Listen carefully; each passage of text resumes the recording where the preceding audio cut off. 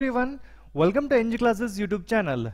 In this video lecture, we'll consider an input-output relation y of n is equal to x of n plus 1 plus x of n plus x of n minus 1. The task is to determine is this system stable and causal. So let me consider testing this system for the first condition that is stability. So let me check this is this system stable or not to test the system for stability, uh, initially we should know the condition. For any system to be stable, the condition is for every bounded input must result in a bounded output. What does that mean? We'll make the input finite. Check that is output also going to be finite? If yes, the answer is stable. Else, the answer is unstable. Uh, let me write the same thing in the mathematical form. I said consider the input and make it bounded. So I'll consider the magnitude of that which is less than or equal to mx where mx is any finite number that is less than infinity. So make the input finite. If x of n is finite then check the output.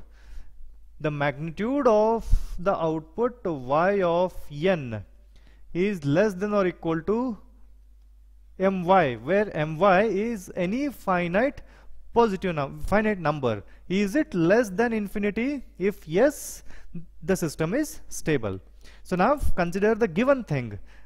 In case in this case y of n I'll consider the magnitude of this is equal to what is that? X of n plus 1 plus x of n plus x of n minus 1 so let me consider the same thing magnitude of x of n plus 1 plus x of n plus x of n minus 1.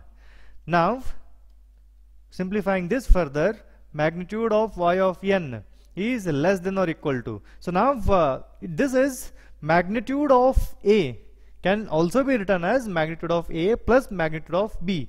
But this will be less than that value, less than or maximal equal to that value. So I can take that magnitude inside so that it becomes magnitude of x of n plus 1 plus magnitude of x of n plus magnitude of x of n minus 1 is this fine? Therefore this is less than or equal to. What I'm going to get now magnitude of x of n. I said it is equal to it is less than or equal to mx input is bounded. So what about these things? x of n plus 1 is the shifted version of x of n and x of n minus 1 is also the shifted version of x of n. Uh, we know that by shifting the bound on the shift will not change. I repeat the sentence. By shifting the bound on the input will not change. Is this fine? Therefore, this is also equal to mx and plus this is also equal to mx. So this is less than or equal to 3 times of mx. So is this less than infinity? Yes, this is less than infinity.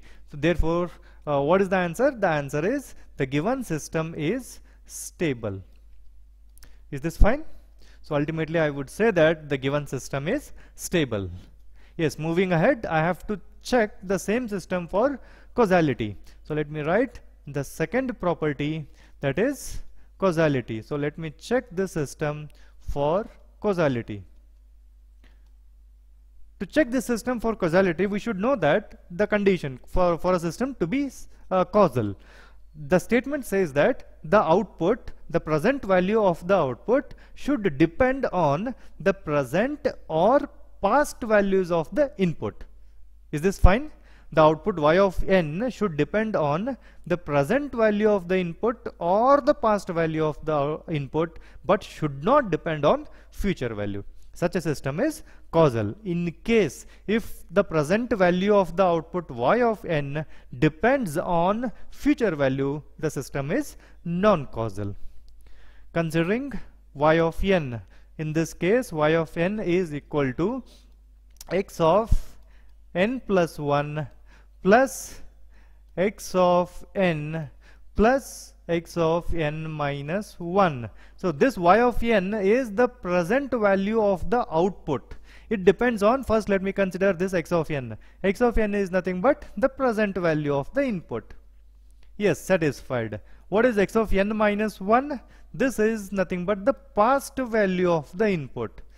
And what is x of n plus 1? x of n plus 1 is nothing but the future value of the input. Before the input is applied I should know what is x of n plus 1 to get y of n. Therefore the my answer is the system is non-causal.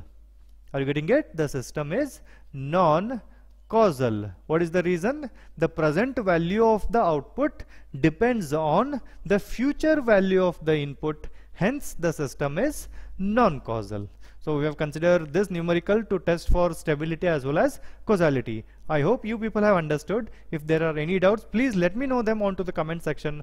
I would definitely answer those doubts. Meanwhile, subscribe to our channel EnggClasses for more videos. Till then, thank you so much for watching.